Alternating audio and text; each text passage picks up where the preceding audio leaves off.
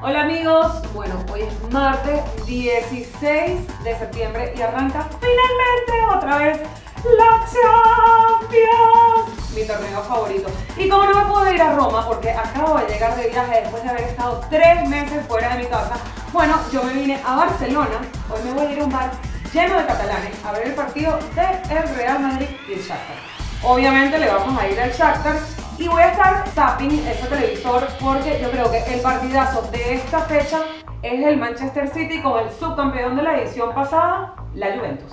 Y mañana obviamente debuta el campeón, el Fútbol Club Barcelona en Roma, que también va a ser un partidazo. Y el otro partido que yo no me pierdo el miércoles es el Olympiacos contra el Bayern de Múnich. Y bueno, sigue la novela de Alan Pulido, entonces bueno, yo, yo quiero ver qué va a pasar en esta edición de la Champions. Hay un total de 128 futbolistas latinos que van a, jugar en, en esta Champions y nueve de ellos son mexicanos. Otro partido súper interesante el día de mañana es el del Eindhoven de Guardado y Moreno contra el Manchester United que con todos los fichajes que hicieron este verano yo creo que puede dar sin duda alguna la sorpresa de esta edición de la Champions y yo creo que obviamente los favoritos van a ser los mismos de siempre porque en la Champions, en toda la historia de la Champions, solamente 13 equipos han ganado la copa. Entonces yo creo que este año se va a quedar igual porque yo tengo la fe de que el Barça sea el primer